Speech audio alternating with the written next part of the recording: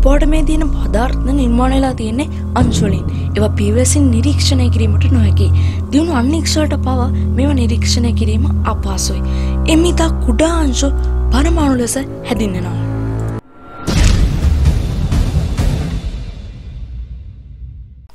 බෞද්ධකෝ රසානික ක්‍රම මගින් වෙනස් ගුණ ඇති ද්‍රවවලට තවදුරටත් බෙදිය නොහැකි නිශ්චිත ගුණ දරන සංශුද්ධ ද්‍රවවලට අපි කියන මූල ද්‍රව්‍ය කියලා.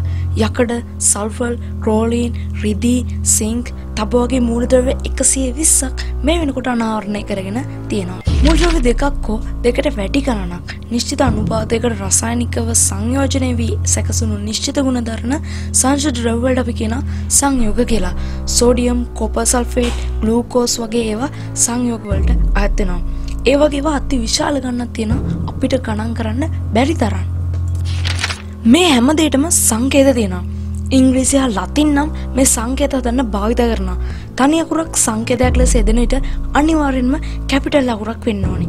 දෙවෙනි අකුරක් තියෙනවා නම් ඒක සිම්පල් වෙන්න ඕනි. එකම වර්ගයේ පරමාණු දෙකක් හෝ කීපයක් සම්බන්ධ වීමෙන් හෝ වෙනත් වර්ගයේ පරමාණු සම්බන්ධ වීමෙන් සෑදුණු ඒකක වලට අපි කියනවා අණු කියලා. ඔක්ෂන් හැදලා තියෙන්නේ ඔක්ෂන් අණු දෙකකින්. හයිඩ්‍රජන් හැදලා තියෙන්නේ හයිඩ්‍රජන් අණු දෙකකින්. නයිට්‍රජන් හැදලා තියෙන්නේ නයිට්‍රජන් අණු දෙකකින්. එකම මූලද්‍රව්‍යයෙන් සෑදෙන අණු වලට අපි කියනවා සමපරමාණුක අණු කියලා. ඊළඟට අපි යම් පරමාණු ව්‍යුහයට. මේ ගැන කතා කරද්දී තියෙන විශ්මිතම කරුණ තමයි මේ පරමාණුෙන් වැඩි කොටසක් තියෙන්නේ හිස් අවකාශ වීම. මේ පරමාණු සම්පූර්ණ ස්කන්ධයම ඒ මැද ඇති කුඩා කේන්ද්‍රයකට එකරස් වෙලා තියෙනවා. ඒ කේන්ද්‍රය අපි නෂ්ටය විදියට හඳුන්වනවා. පරමාණුව තවදුරටත් බෙදා වෙන් කර නොහැකි කියන අතීත අදහස වෙනස් කරමින් පසු කාලෙදිද පරීක්ෂණ වලින් අනාවරණය කරගෙන තියෙනවා පරමාණු නිර්මාණය වෙලා තියෙන්නේ උපපරමාණු අංශු කීපයක් එකතු වෙලා කියලා. මේ උපපරමාණු අංශු ඉලෙක්ට්‍රෝන, ප්‍රෝටෝන හා නියුට්‍රෝන විදියට හඳුන්වනවා.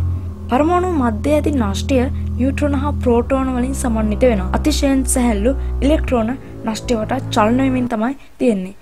මේ පාඩමේ සම්පූර්ණ නෝට් එක පහළ ඩිස්ක්‍රිප්ෂන් එකේ තියෙන ලින්ක් එකෙන් ඔයාලට ගන්න පුළුවන්. අපේ YouTube channel subscribe කරන්න නැත්නම් දැම්ම subscribe කරන්න. අපේ වීඩියෝ වලට ගෙම්දලා like කරන්න. ඔයාලගේ දවස් පල්ලෙන් කමෙන්ට් කරන්න. ගිහින් එන්න. තවත් වීඩියෝ එකකින් හම්බෙමු.